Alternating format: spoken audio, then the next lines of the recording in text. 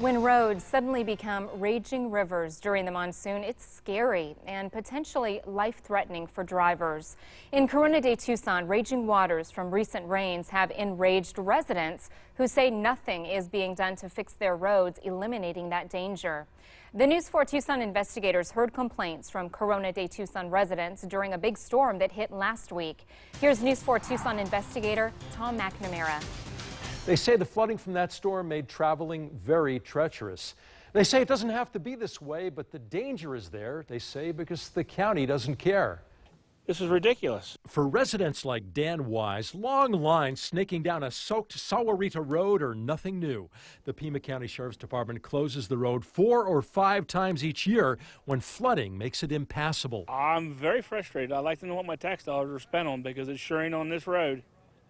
Not on the part of it we need. Wise isn't alone. Corona de Tucson residents sat steaming and soaking for hours, waiting to move just a few miles to get home.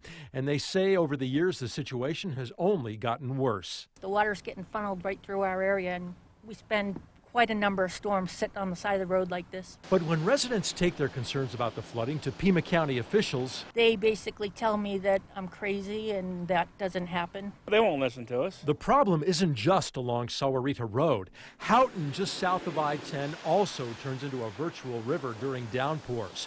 Once again, residents tell the News 4 Tucson investigators the county hasn't done anything to help solve the problem. Not at all. Not, not where I live, anyways. There's a lot more people living out here now, and they don't do anything to provide for the increased traffic flow. We heard from other residents who get stuck out here whenever Sahuarita Road floods, and they say they've gotten absolutely no satisfaction out of the county.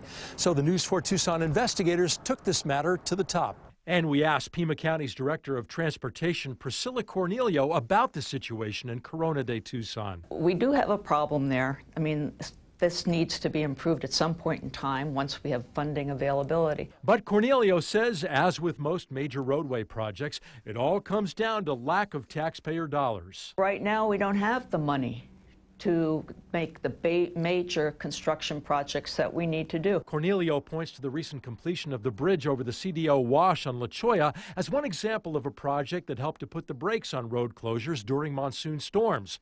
And there are plans to widen Houghton Road, but that might not happen for decades. We hope to get money some point in time to start to address Sahuarita, but nothing right now. The News 4 Tucson investigators discovered by Pima County's own admission the area of Sahuarita Road in question is considered to be in poor condition.